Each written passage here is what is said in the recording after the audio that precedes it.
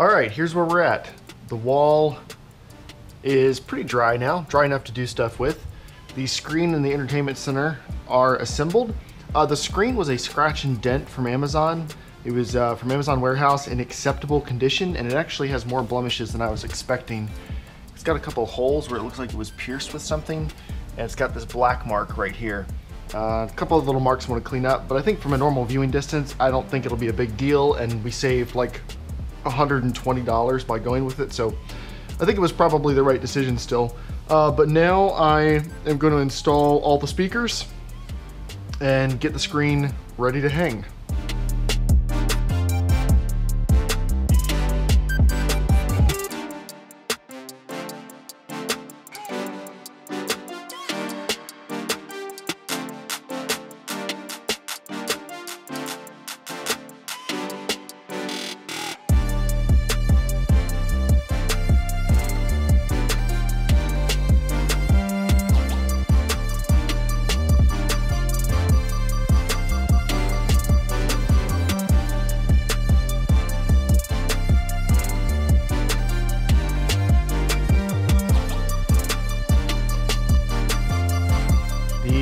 Are in.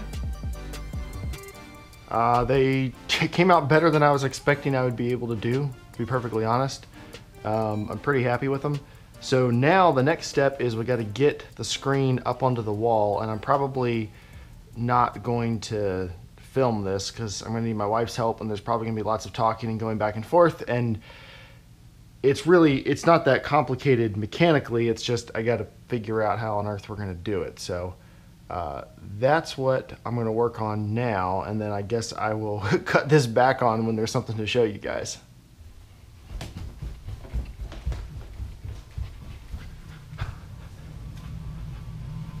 All right, so I certainly skipped a couple steps, uh, but here, here's what the room's looking like now. Now, I skipped a couple steps because my wife and I wanted to work on some of the parts together, and I didn't really want her to feel like she had to be on camera the whole time, you know, performing or anything like that. And then also, I was kind of getting tired and wanted to watch a movie, so I wanted to go ahead and get it set up. So I'm going to show you in a minute here uh, some clips of, you know, uh, the lights off and everything. Because right now, of course, this is going to look a little bit washed out. But I'll just walk you through how I've set up the room for now. So some of this is temporary. So first, uh, back here, I haven't hooked up the surround speakers yet. The coffee table's not in use. Still got some like canvases and stuff sitting back there. Still have some tools sitting out. Uh, these lights, of course, were over shelves in the old room, so I haven't, or the old setup from the previous owners. I haven't really got those configured yet. Uh, and of course, I still have stuff sitting out. That uh, tripod is so I can show you some clips of how everything looks in a few minutes. I haven't installed the shelves yet in the entertainment center. I'm going to do that later. Uh, but for now, I have the shield and the switch over here. I've got the uh, temporary receiver or my current receiver in the middle and the PlayStation 4 Pro on the side there. And then of course there's the sub. So that's temporary setup. Uh, I'm gonna install the shelves. I've got the new receiver on the way. I'm gonna be hooking up the Xbox and the PlayStation, but I need the new receiver to properly pass everything through. Uh, I went through a couple HDMI cables, trying them till I got one that worked the best. And of course I haven't run all the wires or anything but this is a monoprice premium HDMI cable. So far that's working very well. Um, let me see, what else? Obviously reflections off the ceiling are pretty noticeable. You'll see that in a minute. Um, the black wall definitely helps. We've got plans to build like a surround thing or a um, like a velvet cross piece that would block uh, block like this ugly gray look when the lights are off. That's something I've never had. Masking bars, that's what they're called, masking bars. Um, now I did save about 50, 40 or 50% on this screen because I got one from Amazon Warehouse in, uh, I think it was called used acceptable condition, and I would call it acceptable. It looks like something pierced the screen at a couple different points. It pierced the roll because it came rolled up, so you can see it in a couple different places, and there's this black mark on the screen right here. Now when you're actually watching a movie, you really don't notice that stuff, and I'm generally, I'm pretty picky, and I don't notice it. I do have a plan to get the black mark off, um, I think I'll be able to do that. I've already gotten some of it off and it looks pretty good. And then the holes, I just, I don't think it's something you're gonna notice. So if I notice it, I can come up with some way to patch them and it won't be an issue. Uh, bigger issue, which you probably won't see in the video footage I show you of like some actual demo stuff in here, uh, is I can see the screws on the speakers through the screen. And that's because the screen did not come with the black backing material it's supposed to have. So an acoustically transparent screen does not block a ton of light. So a lot of light goes through it and it reflects off stuff behind the screen and then can come back. So uh, I'm just going to email the company. I'm sure they'll send me a black backing thing because that was supposed to come with it. Not a big deal.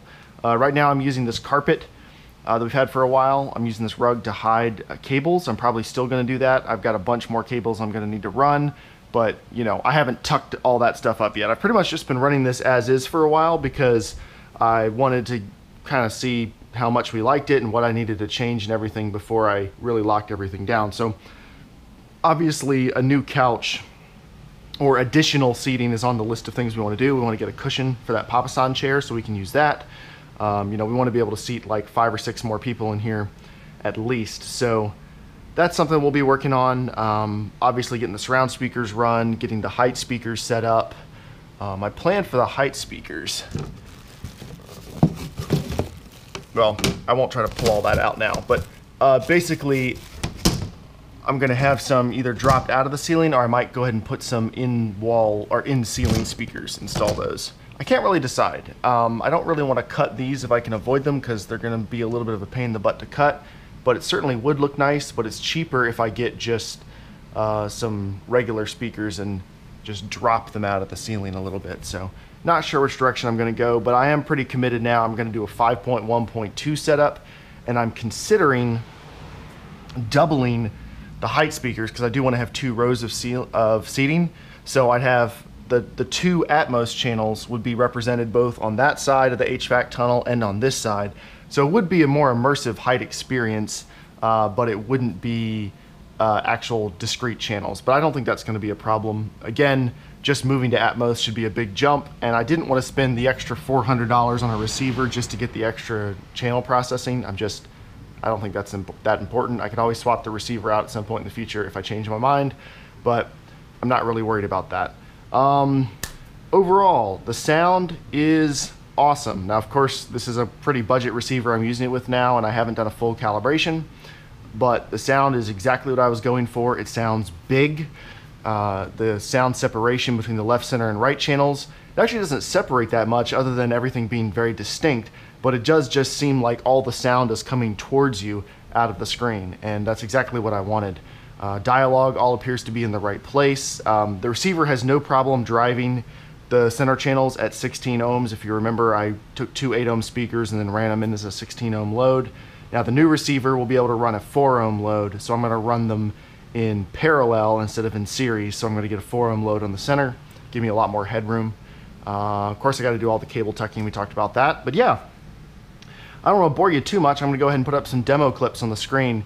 Um, now you're gonna have to keep in mind that since the camera and the projector aren't synced up, uh, you're gonna get the weird rainbow effect going across the screen. There's nothing you can do about that. And obviously you can't get really get an idea of how good something looks or sounds by watching a demo somebody made on the internet. So just calibrate your expectations based on that. But what you can hopefully see is the problem areas I still want to address being the ceiling, uh, the reflectiveness of the ceiling, uh, the reflectiveness of the entertainment center, and the need for masking bars on the screen. And all of that is not to say that this looks bad. This does not look bad. Uh, this looks fantastic, even with no other treatment in the room.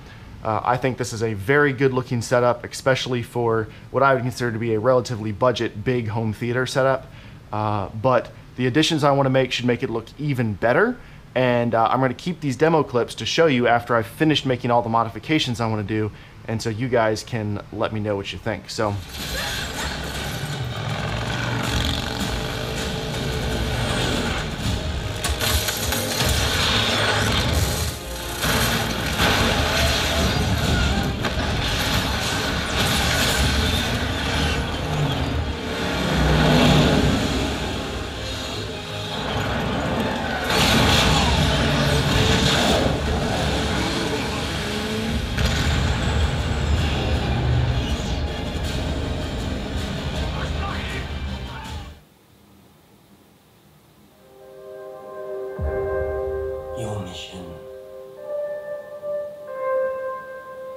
Should you choose to accept it.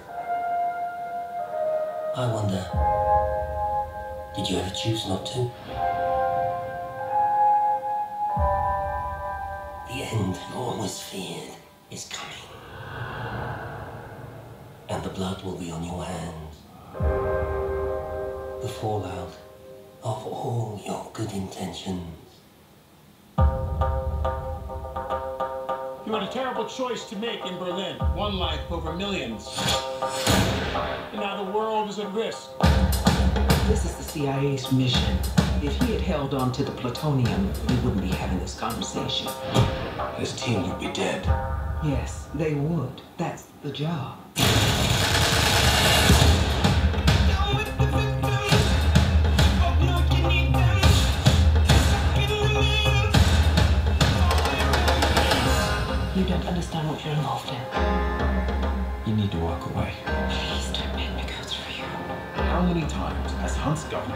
Betrayed him, disavowed him, cast him aside? How long before a man like that has had enough?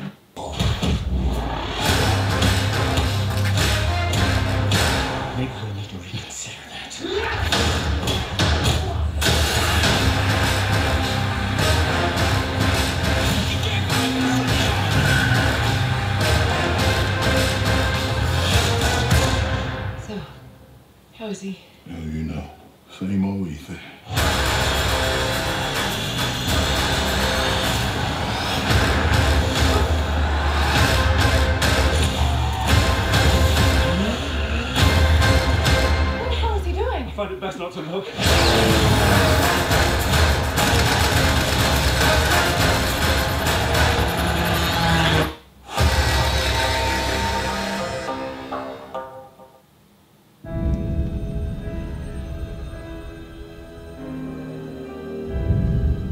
The world is coming undone. Imperial flags reign across the galaxy. You be trusted without your shackles? Let's just get this over with, shall we? We have a mission for you. A major weapons test is imminent. We need to know how to destroy it. If you're really doing this, I want to help. Good. Good. I've been recruiting for the rebellion for a long time. You destroyed our home. I fight the Empire now. I fear nothing. All is as the Force wills it. The captain says you are a friend. I will not kill you. Thanks. There isn't much time. Every day they grow stronger.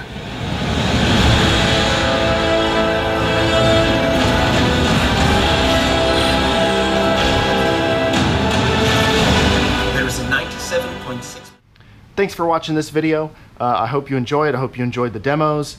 And uh, the next videos are going to be coming out on like a longer release cycle as I do individual projects. So I've got other things I want to do, uh, but you know I've got to work through them one at a time. I don't haven't done them all in a series like I did with these first five videos. So uh, they'll come out as I make more modifications. Same thing as doing anything to my office or my garage. If you follow my car channel, Never Ending Project Garage, um, link to that I'll put in the description if anyone's curious.